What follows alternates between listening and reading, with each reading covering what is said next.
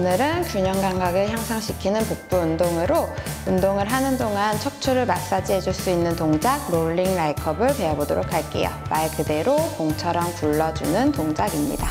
두 무릎을 구부려서 무릎, 발바닥이 바닥. 양손으로는 무릎 아래쪽을 가볍게 잡아주시고요.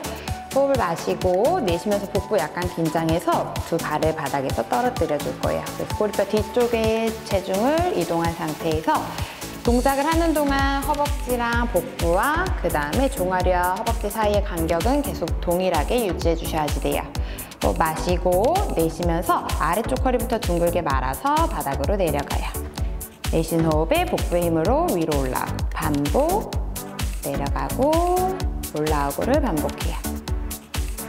이때 주의할 점은 목이 바닥에 닿지 않도록 해주시고요. 동작을 하다 보면 척추 사이사이의 근육이 이완되는 걸 느끼실 수 있으실 거예요.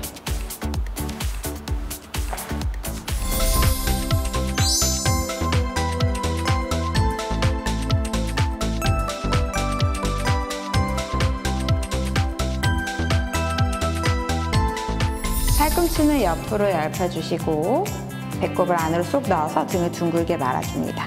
꼬리뼈 뒤쪽으로 복부의 긴장감을 갖고 체중을 이동.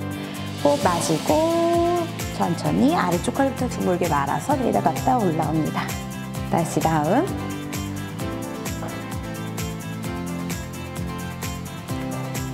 동작을 하는 동안 복부랑 허벅지의 간격과 허벅지와 종아리의 간격을 유지하면서 동작 반복해줘요.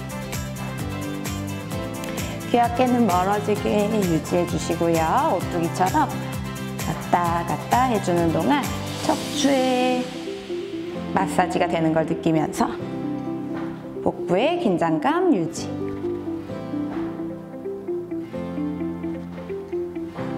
천천히 내려와 발을 내려놓고 손을 풀러 동작 마무리 해 주실게요.